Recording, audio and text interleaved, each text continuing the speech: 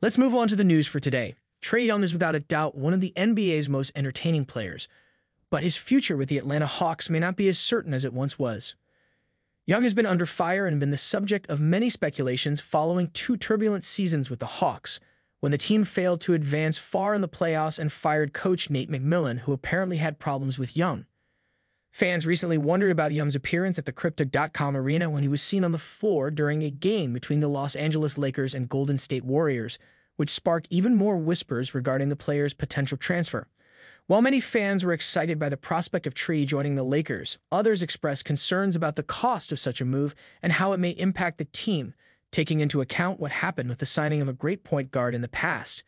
Quin Snyder, according to Trae, is the Hawks' solution and has the ability to take them to the title.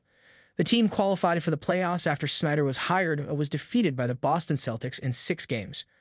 Although it's a bold assertion, the Hawks have shown encouraging indications under Snyder's direction, and this may be the beginning of something positive. Despite the allegations, Trae seems devoted to the Hawks and his coach, Quin Snyder. Although the player's NBA future is still out in the air given his talent, many organizations are probably interested in adding him to their squad. However, for the time being, attention is being paid to his performance and what the future may contain for one of the most intriguing players in the game. This news report discusses the suspicions about Trae Young's future with the Atlanta Hawks and how his attendance at the Lakers versus Warriors game stoked additional whispers about a potential transfer to another team. However, Young's declaration regarding his dedication to the Hawks and his coach, Quin Snyder, indicates that he is focused on assisting his team in succeeding and winning a title.